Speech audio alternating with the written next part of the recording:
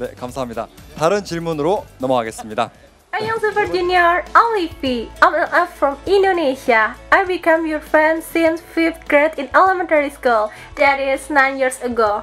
An extraordinary achievement for Super Junior who has been working for 15 years in the industry. Congratulations! I'm very proud of you. I think this very precious moment because my dream come true. To give your question, and the question is, which Super Junior song made you cry or ever? Thank you. 저는 그 슈퍼주니어 1집에 네.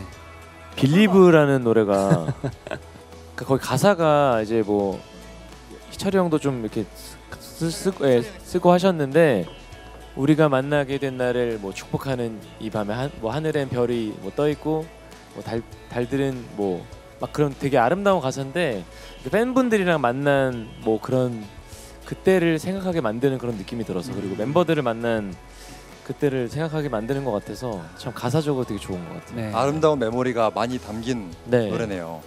뭐 조금 다른 의미일 수도 있는데 저는 Sorry Sorry가 가장 울게 만들었지 않나 좀 기쁨의 눈물을 많이 흘리게 해줬던 것 같아요. 뭐 상. 상도 많이 받고 네. 예, 여러분들의 사랑을 받으면서 예, 감정이 아주 북받쳐서 감정이 깊이 빠져 밥벌